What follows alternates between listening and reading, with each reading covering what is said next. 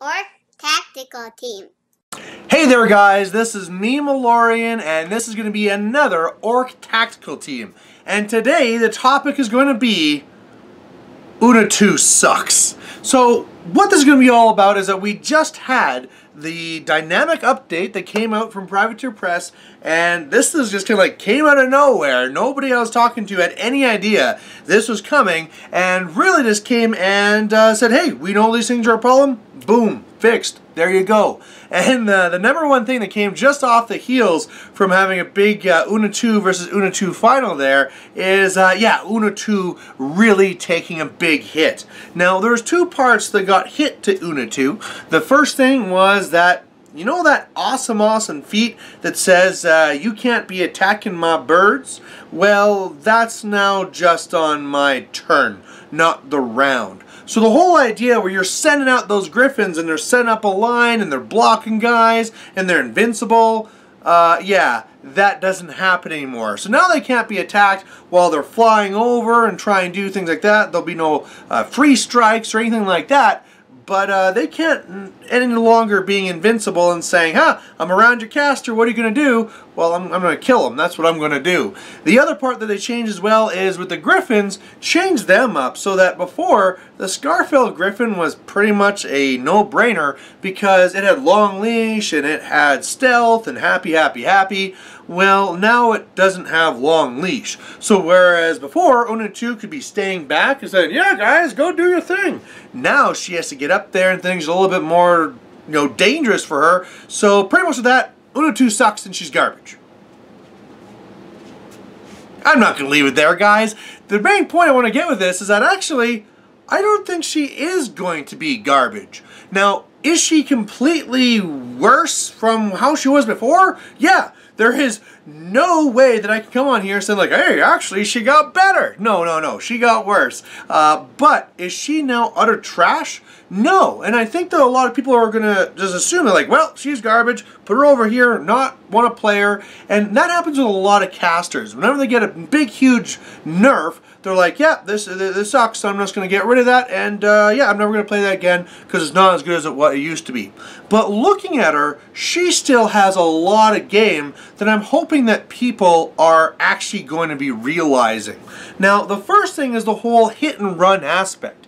So part of the way you could be playing Una 2 before is where she could rush up and she could pop feat and say, haha, you can't do anything, and laugh while she scores on scenario. But the other part is where she could go up, attack with the Griffins, and then they sprint away. And then I come over here, kill this guy, sprint away, and if you don't really dedicate, they'll say like, okay, those guys in the front, they're dead.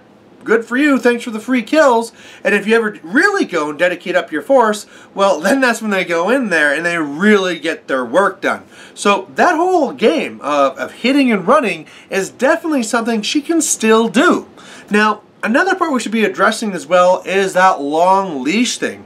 Does that hurt her? Absolutely, that definitely hurts her. But at the same time, uh, she has tech to protect her, and she can actually be up there pretty safely for most of the part, right? If somebody doesn't have some way to get around her tech, well, she can't really be attacked anyway, so if she has to be a little bit further up there, that's not so bad. Uh, plus, it could be a thing that leads to people actually making her more effective on the table because she actually has a pretty good gun. So I think what you're going to see is that as the players start using her and using her a little bit more forward, they're like, oh, yeah, I can use my gun now. Pew, pew, pew, pew, pew.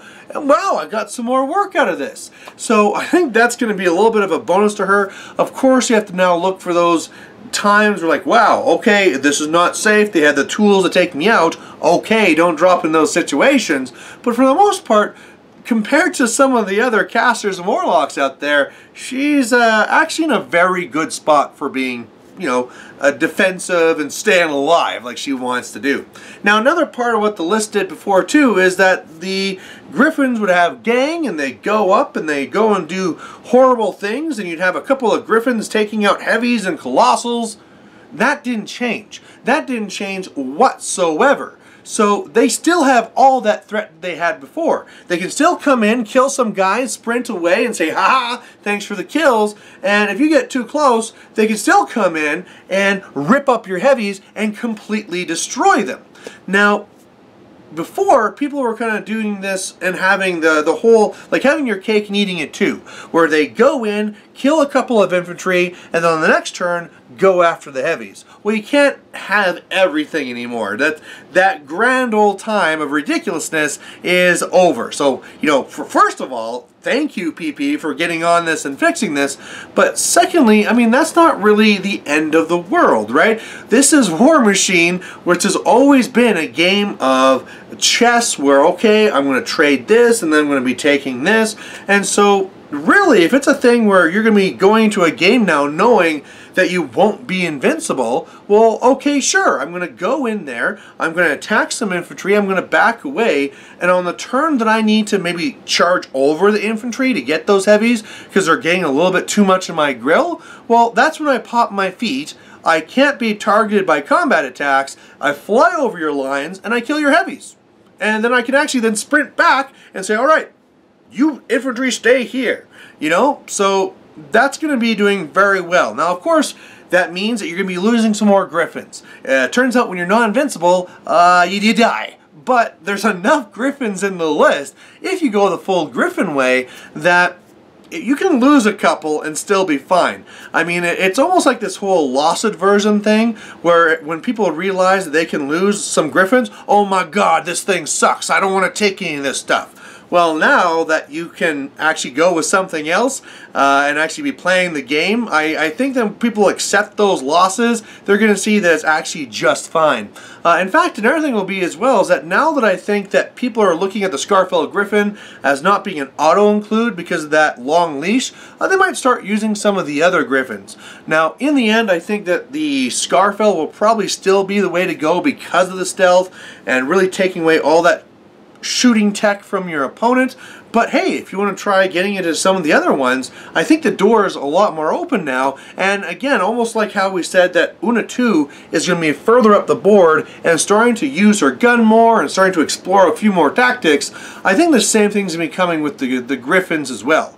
Uh, you might see a lot more mix of some other things. Like, okay, well, if we're doing this piece trade thing, how about I take some more pawns? Well, how about if I take a few more units or something like this? I think we're going to see a much more interesting list. And at the end of the day, you're still going to have these griffins, which are as annoying as hell to deal with because they're going in, doing their hit and run, and then they can always team up and get that gang against a, a colossal or some heavies and take them out too. So I think the biggest thing that people should learn from this is that when something takes a huge nerf, they shouldn't just abandon it. And I mean, this is going to be happening to lots of people all over the place. I mean, it happened to Caine 2. Caine 2 took a big hit, and all of a sudden from being used and being awesome, uh, now people just don't use them at all. Ever since the nerf, I haven't seen anyone playing Caine 2, and I mean, I guess I could be blaming myself for that because I haven't been playing Caine 2 either, but I've been doing more Merc, so at least I have an excuse. But I mean, you see this time and time again where a caster or a warlock takes a big nerf, and people are automatically just say like, well, I guess I'm never using this again, goes on the shelf, gets some dust, when really what they should be doing is saying like, okay, okay, maybe things were too good before, uh, now they're balanced, let's see what I can do with this model now. Ignore the stuff from before. Don't be saying like, oh man, and I can't do this anymore, and I can't do this. No, that's you're just wasting your time. You're literally doing nothing for yourself. However, if you go out and you're trying to build these new lists and seeing what the new options are, you're going to learn something, and all of a sudden this model that you were going to just throw basically away to go collect dust up in your shelf, all of a sudden has a use and something you might actually want to bring to a tournament. So there you go, guys. Uh, even though we start off saying Una 2 sucks because, you know, I, it's still good to get the message out there that Una 2 changed, I think at the end of the day, the real message is Una 2 doesn't suck. She's now more balanced, and I think if Circle Players play her, uh, they're going to find that she's actually okay. So there you go, guys. Thanks for watching, and otherwise, we'll catch you later. Bye.